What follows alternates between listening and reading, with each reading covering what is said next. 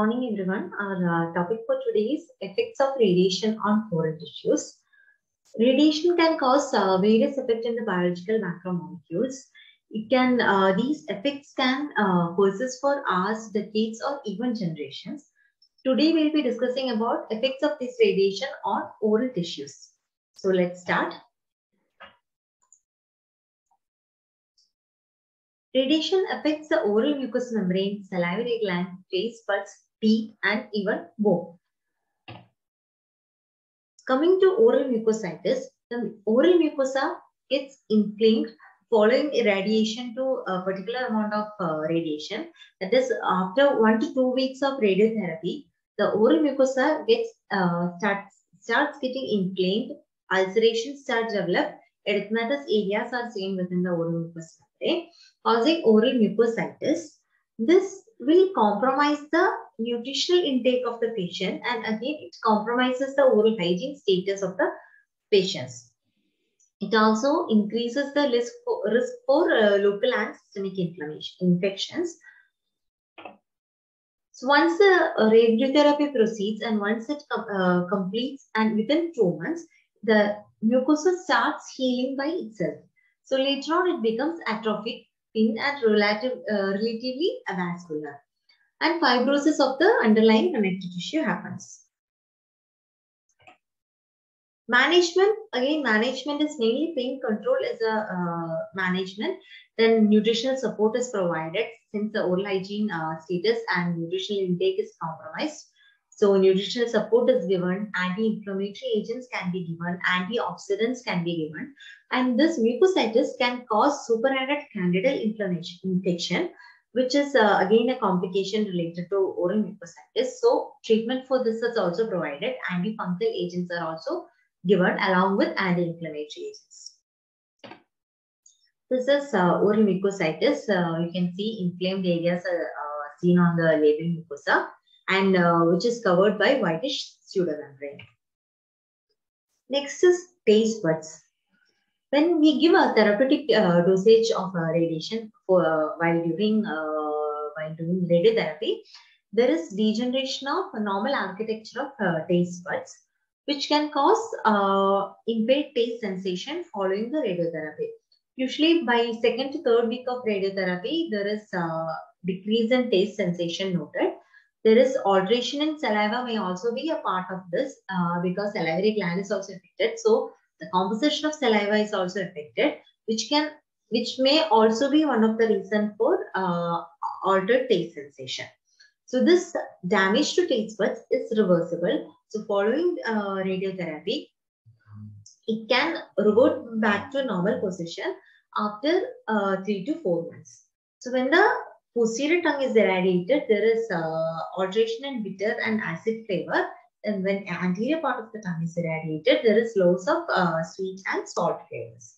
So management, again, dietary consultation has to be provided and improvement in the quality of uh, nutritional intake of the patient has to be done. Along with that, zinc sulfate capsules can be provided. Next is effect on salivary gland. Effect of, uh, on salivary gland uh, can cause various other uh, effects as well because uh, saliva, composition of saliva is uh, varied, viscosity of saliva is changed, pH of the saliva is changed, buffering capacity of saliva is changed. So all these uh, things can uh, bring about various problems such as uh, one is again loss of taste sensation. Another thing is uh, dental caries. Uh, there will be prominence of dental caries seen because of the effect on salivary glands since the composition of saliva and properties of saliva is changed so this is also reversible when after 6 to 12 months of the radiotherapy there can be compensatory hypertrophy of the salivary gland which uh, will cause a decrease in this hypersalivation and xerostomia. So irreversible effect of uh, salivary gland occurs after the irradiation with 6000 more than if we irradiate the salivary gland more than 6000 centigray for 5 weeks continuously it can cause irreversible damage to salivary gland otherwise what we are giving normal radiotherapy dose what we give according to that we can, uh, the salivary gland will come back to its normal positions Once uh, the radiotherapy is complete, up to 6 to 12 months it can take to come back to its normal position. So management, uh, uh, how we manage normally, how we manage uh, xerostomia or hyposalivation, similarly we have to manage. That is, uh, patient is asked to sip, uh, sip water frequently, sugarless chewing gums can be given, pilocarpine hydrochloride can be used. Next is teeth. So uh, there can be direct or indirect effect on teeth. Once one I had already told salivary when salivary gland is affected, when salivation is affected, uh, obviously teeth will get affected. There will be very uh, higher incidence of caries as seen. Another thing is before calcification, if it is uh, irradiated, if teeth is getting irradiated before the calcification process, it can cause destruction of tooth. If it is after uh, calcification, it can cause uh, inhibition of cellular differentiation. So it can lead to malformation or arrested growth of uh, teeth. And if uh, during the development of teeth, if it is uh, teeth is getting irradiated, it can cause retarded growth. And uh, in adults, usually is uh, development, since it is already over, is uh, calcification is not much affected, and the eruptive process is also not getting affected. But it can cause fibroatrophy of pulp. Next is radiation caries. So rampant uh, decays are uh, usually seen in patients getting irradiated by uh, during radiotherapy.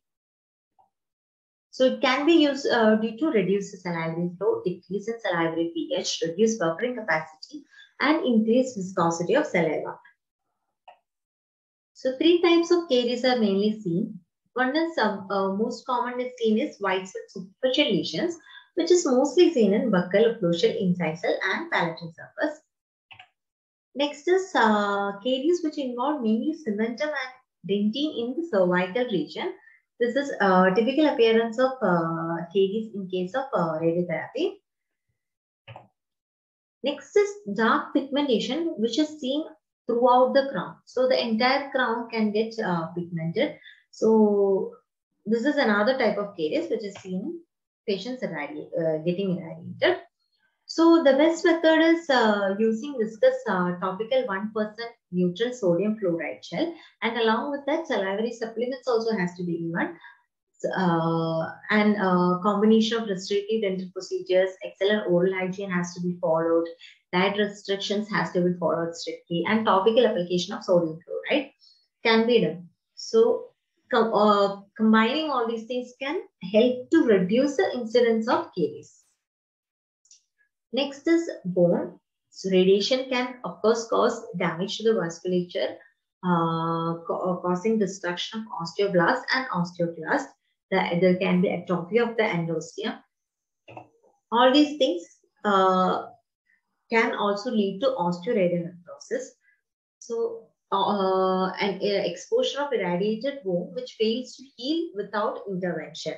So mandible uh, is mostly affected by osteoradionecrosis. It is characterized by hypocellularity, hypovascularity, and hypoxia. Mainly, uh, as I had already told, the exposed bone will be seen within the oral cavity. There can be pain, swelling, trismus, halitosis. Exposed bone is seen. Pathological fracture can happen. And uh, oro and orocutaneous fistulas can also be seen. Radiographically, uh, areas of decalcifications can be seen. In later stages, involucrum and sequestrum can be seen. So best method is prevention in case of uh, osteoradionecrosis. Always uh, we have to think about all the whatever periodontally compromised or whatever infections are there, everything has to be dealt with before giving radiotherapy. So before a patient is posted to, for radiotherapy, all these kind of infectious sources has to be treated. All periodontally uh, compromised tooth has to be treated. Or whatever infections are there, whatever uh, extractions are indicated, whatever treatment can be done before the radiotherapy, it has to be done so that we can prevent future in infection and we can prevent osteoradionecrosis. That's all. Thank you.